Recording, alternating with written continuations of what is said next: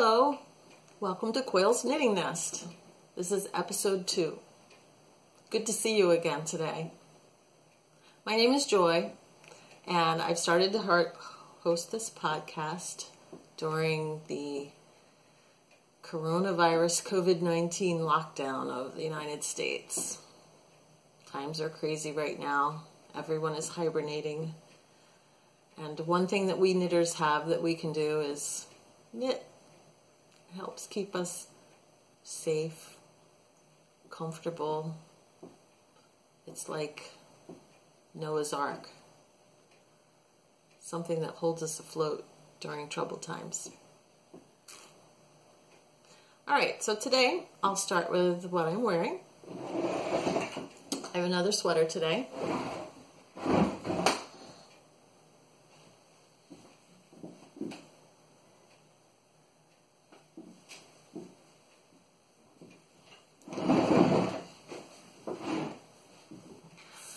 This sweater was a kit from Knit Picks.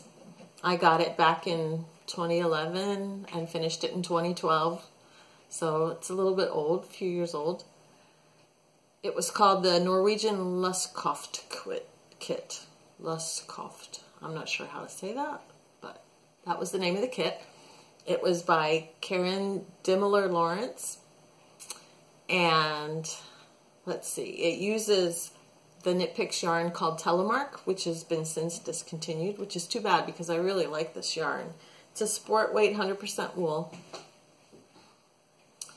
Uh, so the original pattern had a placket down the front, and I didn't like that, so I took it out and just did it like a plain here at the top. Also, it did have different cuffs on the arms. I did originally knit the cuffs from the pattern, but the sleeves turned out too long and then the cuffs were kind of big around my wrist and I didn't like the way that it felt to wear it. And I left it like that for a season or two and I found myself never wearing the sweater. So I decided to bite the bullet and I cut above the cuff and took the whole cuff off and then reknit it so it has a slightly, it has a different pattern here right at the bracelet. And then I just did knit two, purl two, rib at the bottom instead of having the folded over hem. And this cuff I really like. This is, I have learned the things that I like, and one of them is to have a nice close fitting cuff at the wrist. So now I wear the sweater. Well, not all the time because it's very warm. Even though it's sport weight yarn, it's toasty. So I usually save this for very cold days.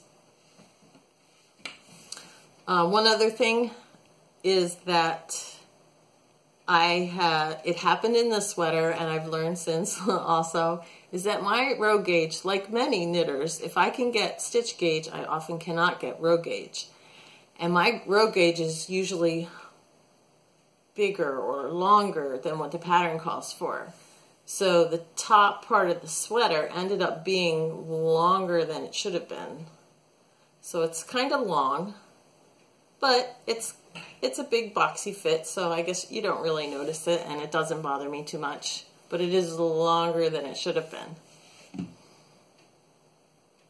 I love the design of the mountains right here. And in fact, until I had finished that part, I didn't even realize that's what it was, but I think it's really cool. Now this was my first and only, so far, project that I steeked. The armholes were steeked and the neck was steeked and the two sleeves were knit separately up to the stranded portion and then the two sleeves were knit together in the round and then you steeked to cut the sleeves apart. It was really interesting construction. Fun to do. So it was quite an adventure. My sweater. All right. Um, next, I mentioned last time that I am a master knitter and I took the master knitting class in order to learn how to knit, basically. So I wanted to show you level one. which is where I started. It's a correspondence course. So they mail you the materials and then you work it and you send your stuff back and they evaluate it. So this, it says received March 2001. So I started knitting in 2000. So about a year later is when I started the master class.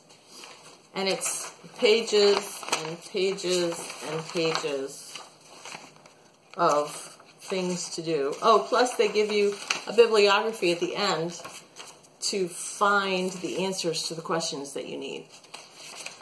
Uh, like I said, this was before, this is 2001, so it's before the internet was widely used and before there were a lot of things available online. And consequently, I spent a lot of time at the library. So they have you make a whole bunch of swatches and you learn and practice how to do things and then they ask you questions, ask you things, and they always have some kind of sort of essay to do. So for example, this is level one, right? It's beginner. So I got garter stitch and two by two ribbing. I had to tag it, say what it was, what swatch it was, what my name is, so every swatch has a tag saying what it is and then the swatch itself. So in my book I have garter stitch, stockinette stitch, seed stitch, and then we do increases.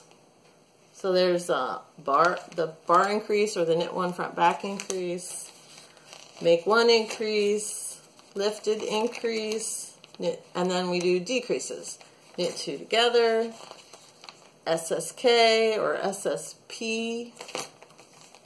That was SSP, this is SSK. Uh, increases, so here, uh, here are eyelets.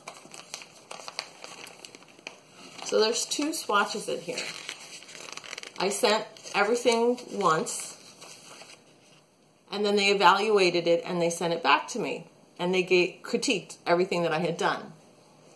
So everything that was wrong or not done according to the way they would do it, you had to redo. So one is my first swatch and one is my second swatch. Now you probably can't tell the difference and actually I can't either. I would have to go back and read the notes and what was wrong with it. They're very exacting. And they have high standards. So this is, um, so that was a yarn over increase. So you can see the swatch is getting bigger. And then the next one is yarn over knit two together so that your stitch count stays the same, but with the increases. And then yarn, yarn over SSK. Then we did basic cables. Here's another one where I had to do the swatch twice. There was something wrong with it. And on this one, I had to write up out a pattern for how I made the swatch. So this was like introduction to pattern writing.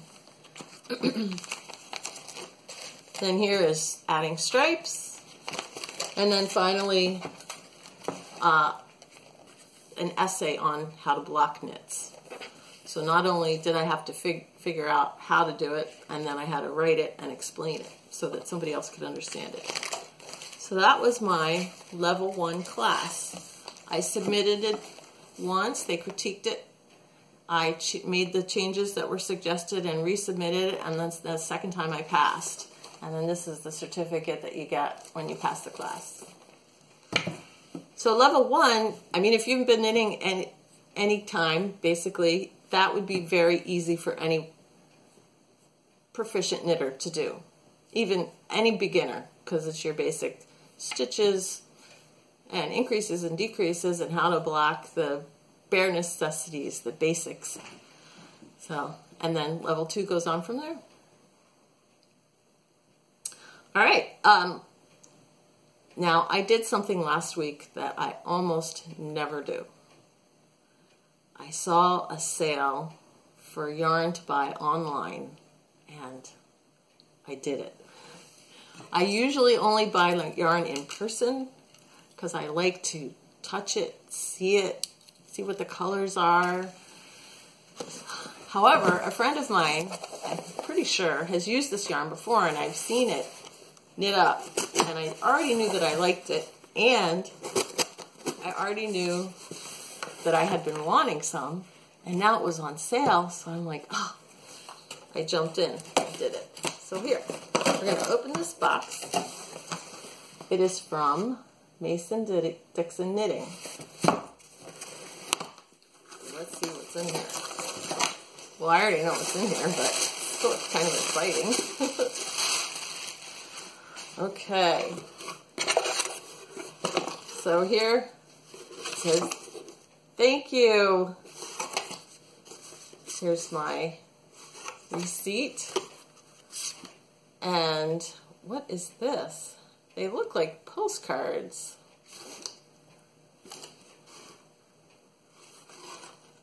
They're pictures from Mason-Dixon Field Guide number 13 Masterclass. They're both patterns from the Masterclass. So this is the K Facet one. I actually have this book. I bought it. And here's what's inside. Uneek sock.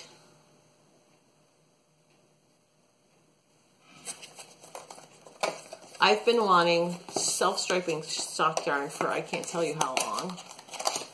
And I guess because of the way it's made, it's it's pretty expensive, even more expensive than your normal hand dyes. So when this went on sale, I couldn't help myself.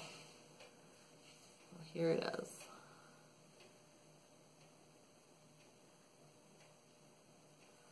So it's like a dark blue, sort of an olive color, like a rusty brown, and a like a beige. So it'll stripe up. And they have it separated into two identical balls so that each sock will match each other. How cool is that? so that'll be fun. I probably won't get to these for a while because I have other socks I want to make before that, but it's something to look forward to. Okay. And I've been continuing with the, what am I working on? I've been continuing with the Arne and Carlos Mystery Quarantine Knit Along. So I'll show you my blocks for this week. Here we have Hippie Flower. It's a fun one. This is Clematis. This one is Crooked Rose. That's pretty. I really like that one. This one is Golden Pothos. And this one, since we're all in isolation and you can't hug me now, then hug me later. Love it. This week we discovered that the, the original intent was it was going to be a pillow. They were saying it was going to be nine squares for the front, so it would be like three by three. And then the 10th square was going to be one giant square for the back. Now they say it still may be a pillow, but they're thinking maybe not. I don't know. So uh, originally it was just supposed to be these two weeks, and now they've extended it, so it's going to be another two another two weeks. I don't know if I'm going to be able to keep up with it. it's been a lot of fun, but I don't know. We'll see. Stay tuned. That's it for this episode of Quail's Knitting Nest. Knit on. Let me know. Have you been working on the Arne and Carlos Mystery Knit Along also? Tell me in the comments. Have a good day.